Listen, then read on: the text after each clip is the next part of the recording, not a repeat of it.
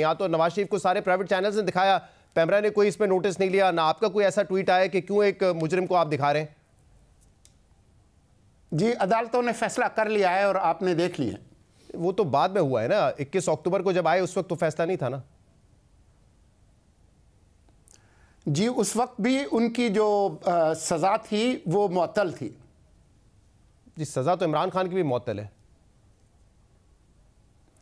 लेकिन उन उन पर और बहुत सारे सीरियस चार्जेस हैं और वो आज़ाद शहरी नहीं है और वो ज़मानत पर भी नहीं है और अदालत ने उनको ऐसी कोई सहूलत नहीं दी जो कि नवाज़ शरीफ को दी गई थी। जज साहब ने तो कहा था ना कि जब तक कन्विक्शन नहीं होती शख्स मासूम है। अथर मिनुल्ला साहब ने कहा था। और कन्विक्शन ओवरटर्न नहीं हुई सबक चेयरमैन की। चले फिर मैं मैं नवाज़ शरीफ साहब की भी उसके बाद ही हुई थी।